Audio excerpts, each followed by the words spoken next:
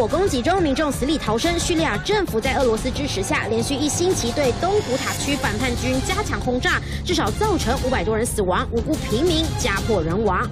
My children are scattered here and there. My son lost three kids. Such awful memories. 二十四号终于盼到了联合国安理会三十天无条件停火决议，但决议形同废纸，东古塔区持续炮火连天。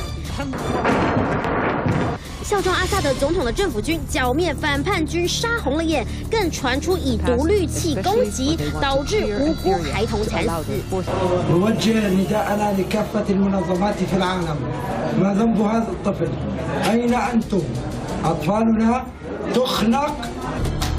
根据联合国调查报告，叙利亚的恶行背后帮凶竟是北韩。从二零一二年起，北韩就持续暗中将化学武器的原料运给叙利亚政府，叙利亚则提供北韩经费，持续打造核武帝国。Of course, if these two regimes have really joined forces, it could mean a very dangerous new front.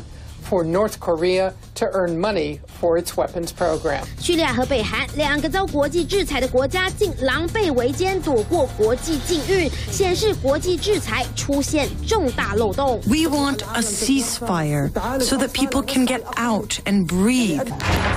即便俄国总统普京宣布二十七号起每日实施五小时人道主义停火，但眼见各国势力在叙利亚厮杀，大打代理人战争，七年死亡人数近二十三万人，叙利亚的内战仍看不见止战之日。三联新闻，康宁综合报道。